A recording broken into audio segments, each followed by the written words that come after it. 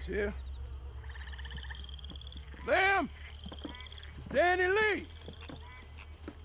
This stuff stinks. This is their recipe. I'm not sure I want it.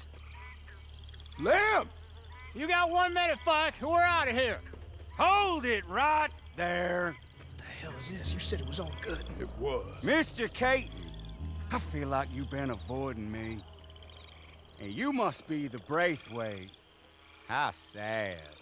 From prince to peasant. I got guns covering this whole area. Is that a threat? Let me go. I'll call him off. And, and, and you can have Danny Lee. What, Mr. Braithwaite? I can have him. How very kind of you. And I also have $100. Right, right here. Well, never let it be said that I'm not a reasonable man. Go on, then. If you're going. Why are they letting him go? Really? You're all but finished anyway. I only catch the big fish. Put your goddamn hands up! All right, start moving. God damn you. Oh, here he is, the half-wit. It's not really his fault, fellas. His mother drank a lot. You Goddamn son of a bitch. Thanks for all this.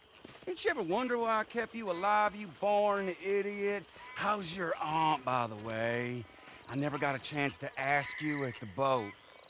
I hear she's looking well. Bastard!